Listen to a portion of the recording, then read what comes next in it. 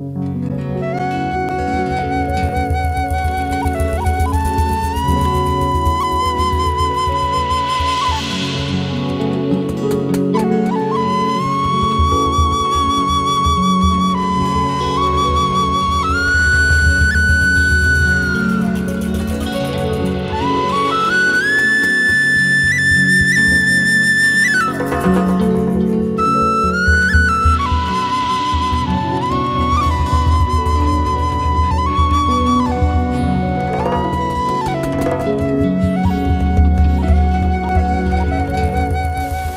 अगर इस धरती पर कश्मीर को जन्नत कहा जाता है।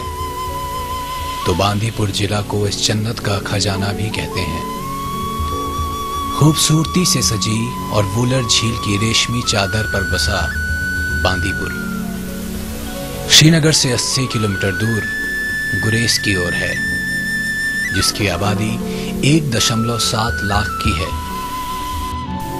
बांदीपुर भारत के उत्तरी पूर्व के कोने पर बसा एक ऐसा जिला है, जहाँ से एशिया की सबसे बड़ी मीठे जल की झील वूलर का नज़ारा भी देखने को मिलता है, जिसे भरने में मधमती एक ऐसी नदी है, जो स्त्री जात के नाम से जानी जाती है।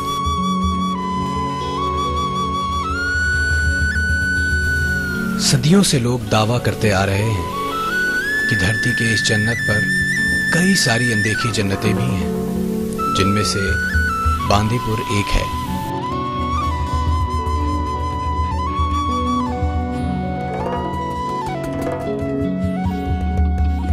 उन्नीस सौ नवासी में मिलिटेंसी के कारण इस जन्नत के खजाने को किसी की आँख न लगी, और तब से लेके अब तक बांदीपुर की खूबसूरत वादियाँ लोगों की नज़रों में पराई हो गई हैं। दो दशक तक आतंक का सामना करने के बाद इस घाटी का पर्यटन ठीक तरह से विकसित नहीं हो पाया। बांदीपुर के सफ़र में श्रीनगर से 80 किलोमीटर का फासला तय करने के बाद हम मलंग गाँव पहुँचे, जो पहाड़ों की ऊंचाइयों पर बसा है। इस गाँव में बाबा शकीदाबाद की जियारत है। बाबा शकीदाबाद स्वाद घाटी में रहने वाले एक मुस्लिम सूफी संत थे। छत्तीस साल इन्होंने अपने पीर की खिदमत की। तो उसके बाद उन्होंने इनको भेजा था कश्मीर के अंदर। तो ये पहलगाम में वहाँ आवरा एक जगह वहाँ पे ये पहले रुके तो ये जो ये एरिया है जहाँ आज आप बस्ती देख रहे हो ये पूरा एक जंगल था। यहाँ पे कोई बस्ती नहीं थी यहाँ पाँच आठ घर थे टोटल यहाँ नीचे और कुछ कश्मीरियों के घर थे वो जो नीचे हैं। द्वितीय विश्व युद्ध के समय सकीदा बाबा स्वाट घाटी छोड़कर पहलगाम में रहने लगे और फिर बिचौती करने के लिए पाकिस्तान और जम्मू कश्मीर के पहाड़ों की ऊँची चोटियों पर जा बसे। कुछ सालों तक बिचौती करने के बाद वे फिर मलंगांव आ गए और जनवरी 1956 में उनकी मृत्यु हो गई। शकीदा बाबा की मृत्यु के बाद उनके बड़े बेटे सईद ज़मीन शाह ने 9 साल की उम्र से सूफिज्म का संदेश देना शुरू कर दिया। हर साल 4 अगस्त से 10 अगस्त तक इस जियारत पर बहुत बड़ा मेला संगठित किया जाता है। और इस मेले में शिरकत होने के लिए हर साल तीन से चार लाख लोग आते हैं।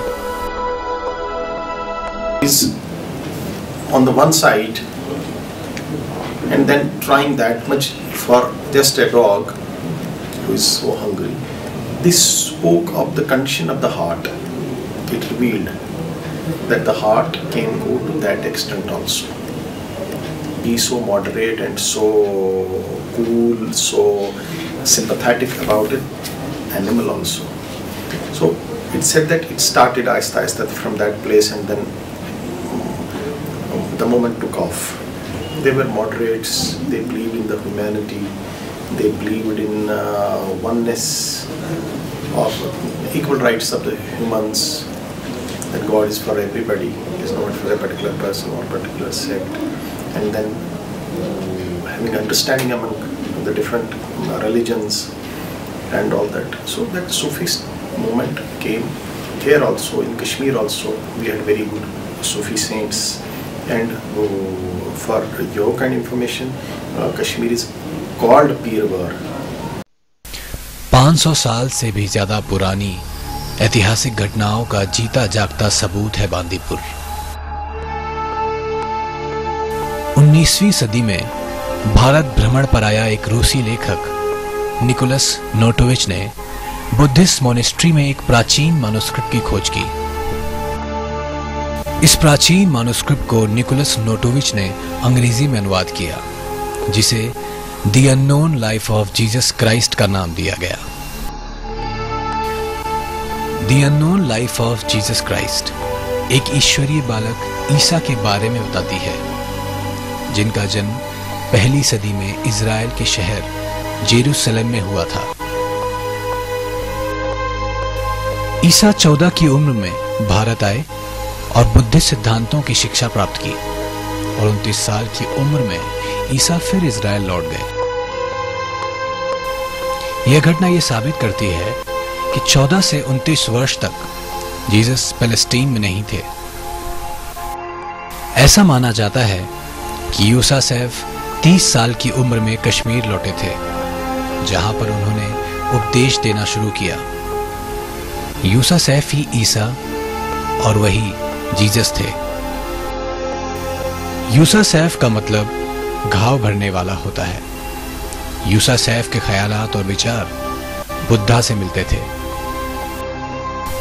हमारे सफ़र के दूसरे पड़ाव में हम बांदीपुर के अथाबोध गाँव में पहुँचे, जहाँ 800 फीट ऊपर पहाड़ी पर जीसस क्राइस्ट को अंतिम बार देखा गया था। पर इस्लामिक धर्म के लोग इस बात को नहीं मानते। कुछ विश्वास करते हैं और कुछ नहीं।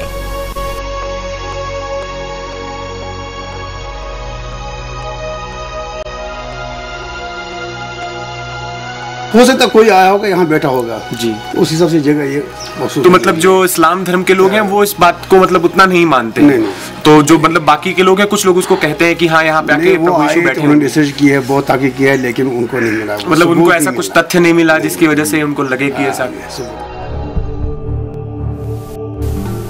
बांदीपुर के पनर गाँव के पास जियारत अहम शरीफ है। इस जियारत को शहनशाह कश्मीर सुल्तान उल आरिफीन शेख हमजा मखदूम के नाम से भी जाना जाता है।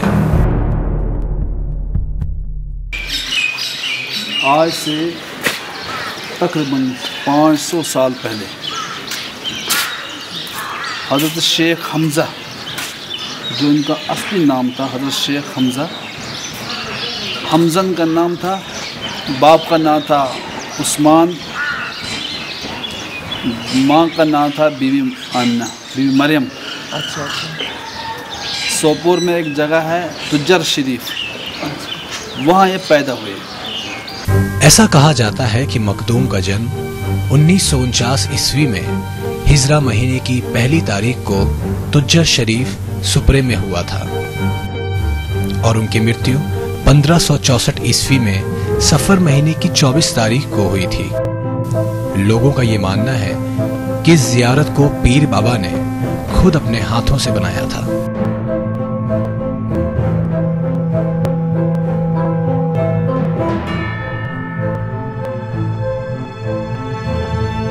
दरवाज़ा जो है योगी बंगा लकड़ी का है और वहाँ छः सौ साल पहले। कौन सा? ये अच्छा ये 600 साल पहले का दरवाज़ा है। जी। अच्छा अच्छा। जियारत अहम शरीफ इस्लामिक कला और संस्कृति का एक अनोखा उदाहरण है। यह जियारत अपने ऐतिहासिक संपत्तियों के लिए अहम मानी जाती है, क्योंकि इस जियारत में इस्लामिक धर्म के अत्यधिक पवित्र, प्रमाणिक दस्तावेज़ के साथ प्रोफेट मोहम्मद के कपड़े हैं, और इन कपड़ों को साल में छह बार दिखाया जाता है। आज से तकरीबन डेढ़ सौ साल पहले यहाँ पर एक तबरक़ात मोहम्मद सल्लल्लाहु अलैहि वसल्लम जो हमारे पैगंबर हैं उनका दस्तार भी जिसको खोदे कहते हैं उनका जुब्बा जिसको कुर्ता कहते हैं अच्छा। वो यहाँ पर इसी गाँव के एक बुज़ुर्ग पीर मोहम्मद खलील खान साहब ने आज से डेढ़ सौ साल पहले लाया। अच्छा डेढ़ सौ साल पहले लाया डेढ़ सौ साल पहले लाया। जिसको हम साल में छः मरतबा जिस तरह दरगाह हज़रत शरीफ में दिखाते हैं मौज शरीफ श्रीनगर। श्रीनगर में साल में छः बार? छः बार। और वो कब कब होती है? होता है हम हम एक होता है रबियुल अवर के महीने में। अच्छा अच्छा। वो अंग्रेज़ी महीने के नहीं अगर रबियुल अवर के महीने में अच्छा। अंग्रेज़ी महीने उसके तब्दील होते रहते हैं। अच्छा। और एक है रजब के महीने में। अच्छा। एक है माह रमज़ान के महीने में। एक दफ़ा।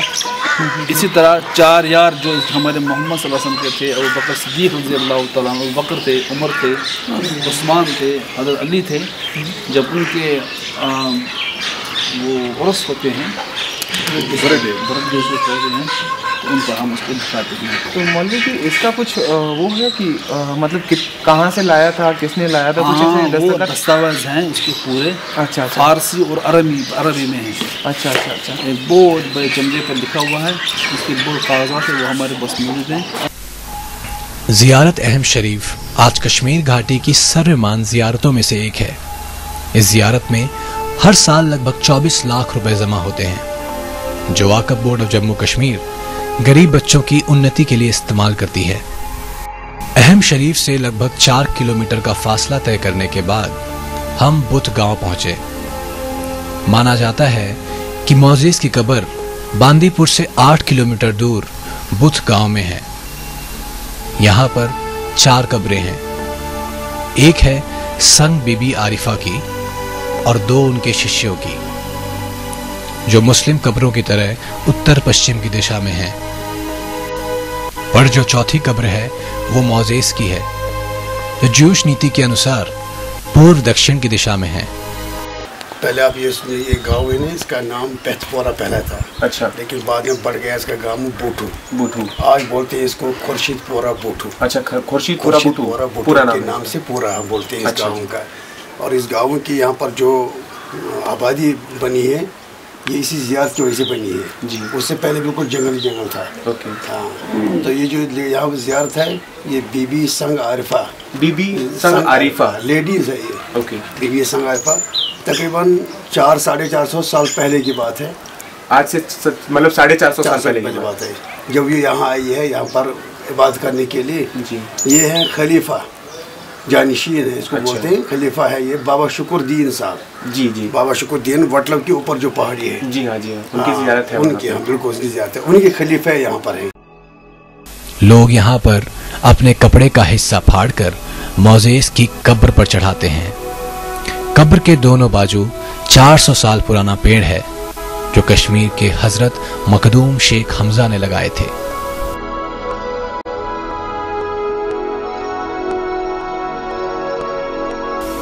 हमारे सफ़र के पाँचवें पड़ाव में हम बारह हज़ार फीट की चढ़ाई चढ़कर राजदान पहुँचे, जो साल के दस महीनों तक बर्फ़ से घिरा होता है। राजदान के पहाड़ों की ऊँची चोटियों पर पीर बाबा की जियारत है।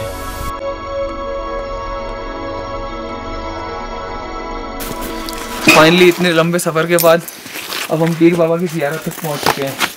यहाँ पे आप काफ़ी चीज़ें देख सकेंगे, जैसे यहाँ पे क्रिसमस क्रिश्चियंस का निशान है, यहाँ वाहिगुरु है और ऊपर ओम लगा हुआ है। यहाँ हर धर्म को एक ही तराजू पर रख के तोला जाता है, यहाँ किसी में फ़र्क नहीं किया जाता, चाहे आप हिंदू हो, मुस्लिम हो क्रिश्चियन हो। आगे पीर बाबा का दरवाज़ा। हम वहाँ अंदर तक नहीं ले जा सकते, आपको कुछ बंदिशें हैं तो हमारा सफ़र, हमारा और आपका सफ़र यहाँ तक दर्शन के लिए यहीं तक होता है। आप चाहे तो यहाँ पे सारे धर्मों के भगवानों के दर्शन कर सकते हैं। ऐसा माना जाता है कि पीर बाबा एक सूफी संत थे, जो 1933 में पाकिस्तान से आए थे। तब उनकी उम्र लगभग 35 साल की थी, और उनके धर्म का किसी को कोई ज्ञात नहीं था। बांदेपुर न सिर्फ़ अपने प्राकृतिक सौंदर्य, धार्मिक और ऐतिहासिक संपत्तियों के लिए जाना जाता है, बल्कि मेहमान नवाजी के लिए भी प्रसिद्ध है, जिसे कश्मीरियत भी कहा जाता है। बांदीपुर सिर्फ़ प्राकृतिक सौंदर्य के लिए नहीं, बल्कि धार्मिक और ऐतिहासिक संपत्तियों के लिए भी जाना जाता है। ऋषियों से लेकर सूफियों तक, सूफियों से लेकर मोजेस तक, मोजेस से लेकर जीसस तक, सबने इस जगह पर भ्रमण किया और सांत्वना प्राप्त की।